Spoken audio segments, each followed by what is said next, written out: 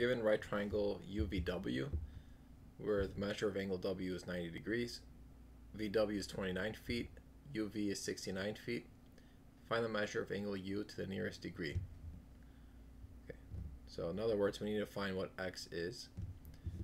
So notice that we have uh, sine length WV, which is 29, and that represents the opposite side of the angle U. And then 69 is the hypotenuse. So that's going to be sine of x degrees is opposite over hypotenuse. In order to get x by itself, you have to apply the inverse sine to both sides. So it's the inverse sine of sine of x is equal to the inverse sine of 29 over 69. And when you compose inverses, they cancel each other out, and what you're left with is what's inside. So in other words, x in this case. So x is going to be the inverse sine of 29 over 69. And here we're looking for the nearest degree.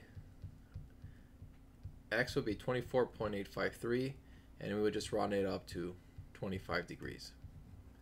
And that's the measure of angle u.